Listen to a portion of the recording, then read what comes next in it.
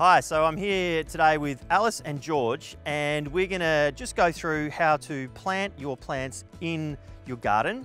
Um, one of the first things that you wanna do, if you've got mulch, you need to scrape that mulch back so that you're planting into soil, all right?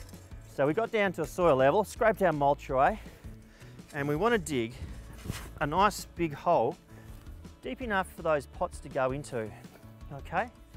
And when you're digging, guys, if you can keep the soil in a nice pile, then you can put it back around the roots where it's supposed to go, okay? Because plants can't grow in mulch, they need to grow in soil. So, Alice, we're gonna plant these plants in a nice clump, okay? A group so that they grow together. These lovely kangaroo paws will come up and attract all the birds, right?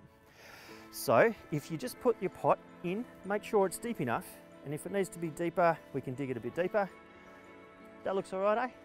All right.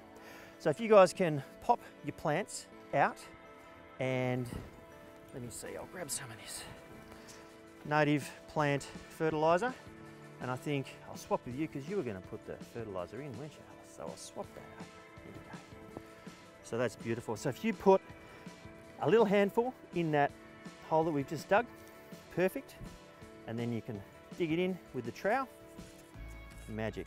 It's really important to incorporate the soil and the fertiliser so that the roots can go and chase that fertiliser, okay? All right, so if you take your kangaroo paws and plant them just here guys, nice and close together, fantastic. That's really good. And then a little bit of soil, I'll hold the plants for you. A little bit of soil around the roots Rightio, and then that's exactly right, George. Pushing that soil in nice and firm so that the roots can get close to the soil.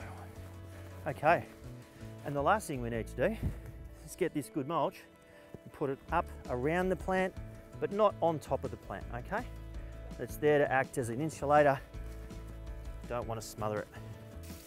Okay, and if you give them a good drink now, they'll be happy for the rest of the week, all right?